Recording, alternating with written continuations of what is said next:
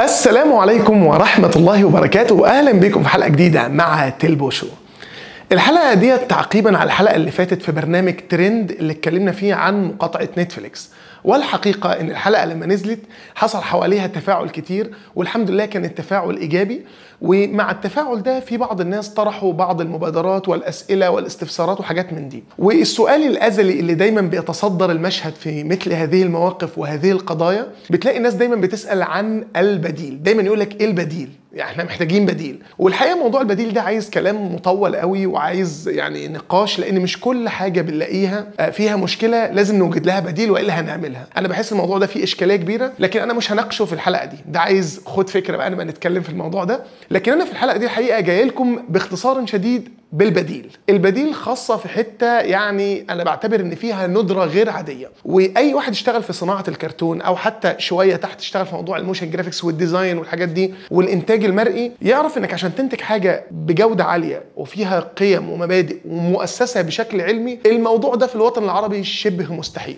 ال 20 أو 30 سنة اللي عدوا واللي فاتوا تقدر تقول إن مجتمع الإنتاج الكرتوني أو المؤسسات الإنتاجية أو زي ما بيسموه بقى معلش بالإنجليزي اللي هي الإندستري بتاعت الكرتون ما كانش فيه أي نوع من أنواع الاهتمام بيها وكانت كلها جهود فردية متفرقة. فلو أنت لقيت حاجة جودتها حلوة وجميلة وظريفة فغالبا مش هيبقى فيها أي حاجات مرتبطة قوي بثقافتنا أو قيم أو أخلاق واضحة قوي إلا في بعض المناطق فيها. وعلى الجانب الآخر لو لقيت حاجات فيها قيم وأخلاق وحاجات من ثقافتنا ومحتوى رائع وجميل تلاقي الإخراج الفني لما تتفرج تحس إنه ممكن يجيب لك أنت شخصيا توحد مش لابنك الصغير لا أنت ممكن يجي لك توحد. فكانت بصراحة من وجهة نظري طبعا متواضعة وأنا كنت متابع أعتقد إن أنا جيد إنك تجمع ما بين الإخراج الفني الرائع واللي يشد الطفل وما بين القيم والثقافة والمعاني الطيبة والأسلوب المنهج التربوي ده كان شبه مش موجود غير في حاجات قليلة قوي بذلت زي ما قلت مجهودات فردية ولم تنمى ولم تكبر. وأصبح مع مرور الوقت وعلو نجم الأفلام 3D والدوبلاج والحاجات دي وظهرت شركات زي DreamWorks اللي بتعمل محتوى يعتبر أكتر البالغين حتى لو قالوا غير كده.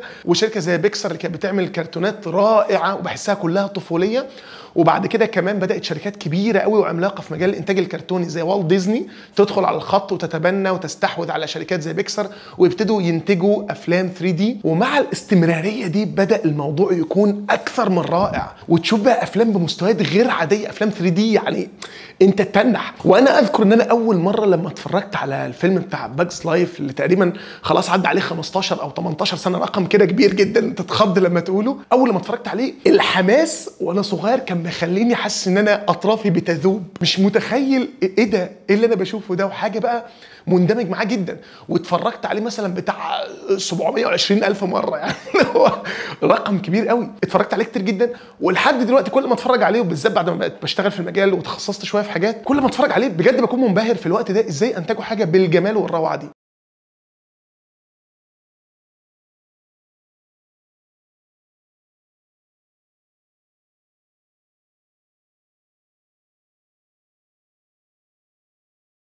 فالحقيقة الموضوع كان عامل زي ما يكون ثورة وطبعا مع وجود الشركات اللي هي المحلية التي لم يكن عندها القدرة عموما لإنتاج المستوى الرهيب دوت لأن التكاليف كانت خزعبلية بالنسبة لهم فأصبح بياخدوا أصبحت Walt Disney تاخد الكلام ده وتعمل له دوبلاج والدوبلاج طبعا كان في مصر بيبقى ليه شنة ورنة كده وجمال الحقيقة ولست لاني مصري ولكن هو كان جميل جدا. فبدأ يحصل إن تنتشر أفلام 3D المنتجة من شركات عملاقة في الغرب ويتم عمل دوبلاج ليها. والناس بدأت تتابع الدوبلاج ده. آه، أصحابي بينادوني فتحي. آه فتحي. تقدر تقول لي غلطتك إيه؟ إني وقعت؟ لا لا لا لا قبل كده. حد يعرف أستاذ فتحي الباب غلط في إيه؟ وطبعا يا جماعة ما أحكيلكمش قد إيه الاجتهاد الفني ده رفع سقف التوقعات عند الناس كلها.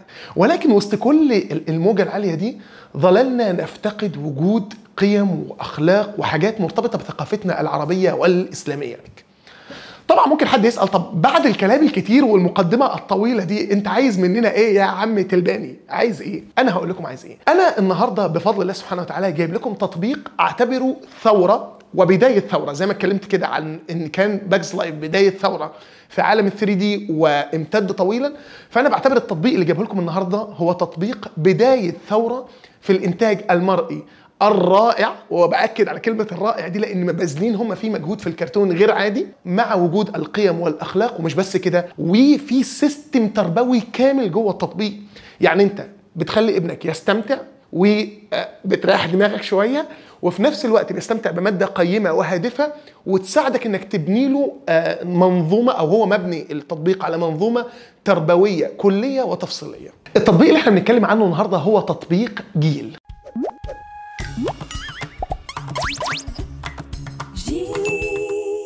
تطبيق جيل ده من التطبيقات الرائعة وبدون مبالغة. أنا جربته فترة واديته لبنتي عندها 8 سنوات آه لعبت عليه.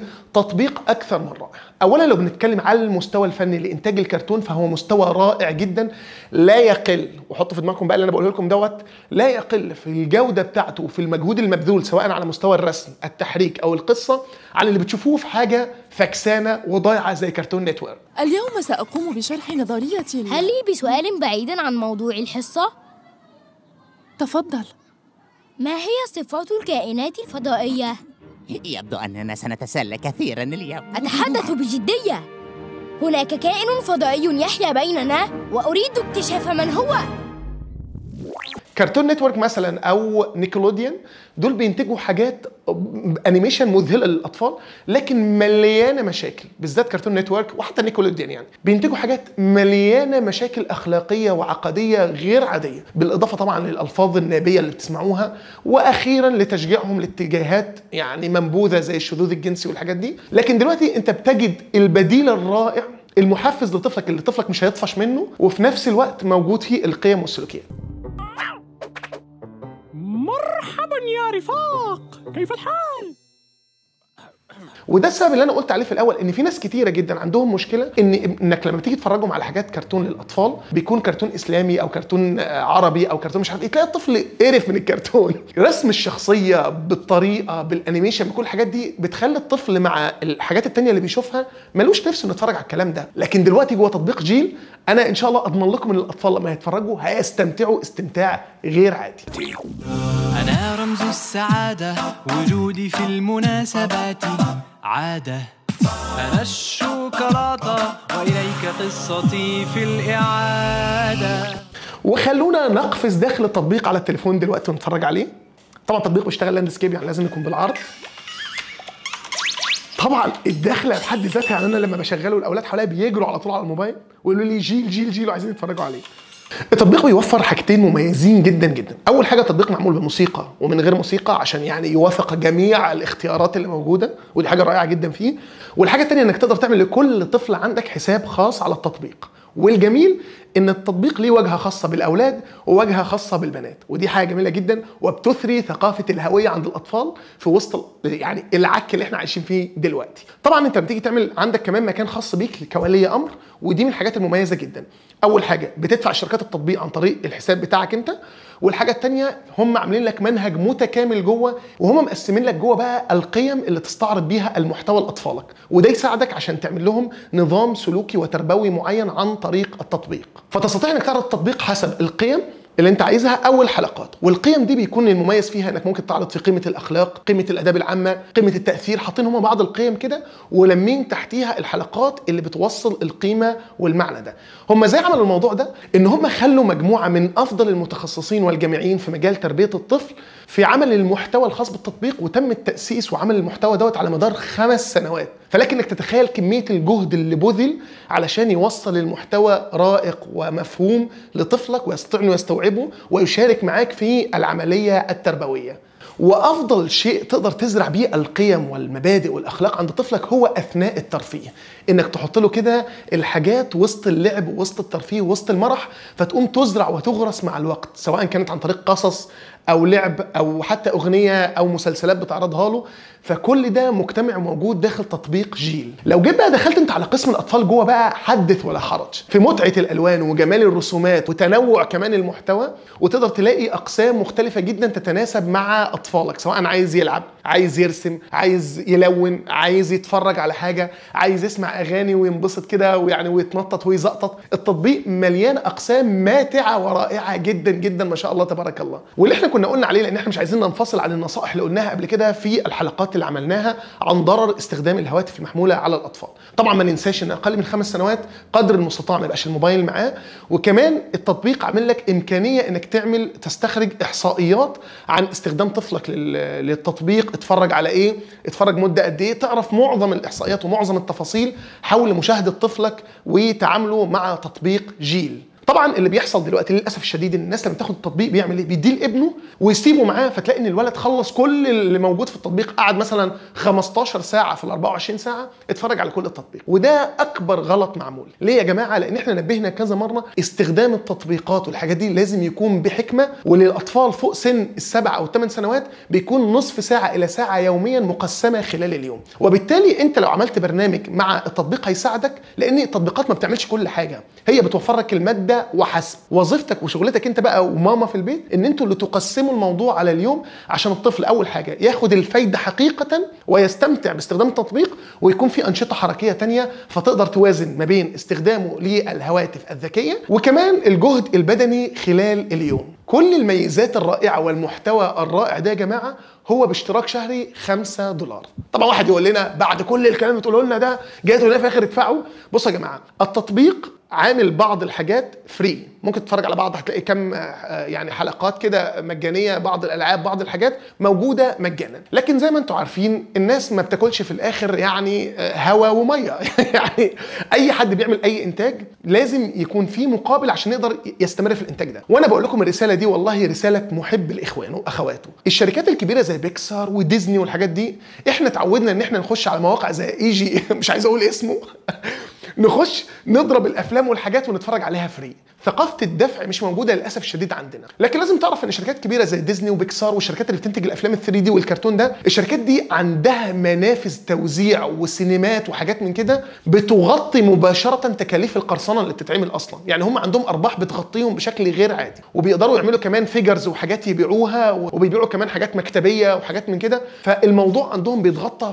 فسرقة المحتوى وأنا طبعا مش ببرر سرقة المحتوى ابدا لكن بقول لكم يعني اللي إحنا اتعودنا عليه ما بيأثرش بالطريقة اللي أنتم متخيلينها. لكن المحتوى الصغير اللي لسه طالع للنور ولسه بيقول يا هادي ده محتاج دعم الناس عشان يستمر ويكبر أكتر وأكتر وأكتر. فكل واحد بجد بيدور على بديل ونفسه يلاقي بديل لأولاده على الأقل اشتركوا في الحاجات دي عشان تدعموها ولتستمر. ولما تطبيق جيل ده ينجح هتلاقي ناس كتيرة جدا خدت ال- الريسك وشدت حيلها وعملت المخاطرة وراحت تحاول تنتج وتعمل تطبيقات. فتلاقوا أنتوا بقى عندكم على الساحة مش تطبيق واحد عشرات التطبيقات. صدقوني الموضوع ده ثغر في حياتنا. لازم كل الناس تسعى إن هي تعمله. إحنا أنا بكلمكم وأنا والله حاولت ملايين المرات إن أنا أكون فرق ونعمل إنتاج مرئي. الموضوع صعب جدا. المعادلة اللي عملها تطبيق جيل معادلة صعبة جدا جدا جدا والله. إنك تنتج إنتاج بالجودة دي وبالمجهود ده وبالتعب ده وتنزله للناس بالسعر القليل ده الموضوع مش سهل. فصدقوني يا جماعة دعم المشاريع دي هو اللي بيخليها تظهر للنور وهي دي الطريقة الأمثل لأي شخص عايز يحارب الحاجات الفاسدة اللي بتطفو على السطح. التطبيق ده يا جماعة أنا عملت الفيديو ده ليه تطوعا تماما؟ الناس دول اللي راسلوني ولا حتى لما شافوا حلقة نتفليكس كلموني ولا أي حاجة. أنا شفت التطبيق ده وحسيت إن هو فعلا عامل زي ما واحد كان ماشي في الصحراء كده ولقى المية اللي يشربها فحب إنه يشارك إخوانه بالمنفعة دي ويسقيهم من السقيا الطاهرة. التطبيق معمول إنه يشتغل على أجهزة الأندرويد وأجهزة الآيفون وده والله إنجاز في حد ذاته بالنسبة لهم ربنا يبارك لهم. هتلاقوا روابط تحميل التطبيقات موجودة في وصف الفيديو تحت وكمان صفحاتهم على الفيسبوك أو صفحات ال social media بتاعتهم موجودة. خشوا عليها وادعموا التطبيق وشاركوه مع أصحابكم وشاركوا الفيديو ده مع الناس عشان يشوفوا مميزات التطبيق دوت من أجل محتوى ماتع عربي هادف. أتمنى يكون الفيديو عجبكم. لا تنسوا ال like المتين والاشتراك في القناة عشان يوصلكم كل جديد وأشوفكم في الفيديو الجاي. السلام عليكم.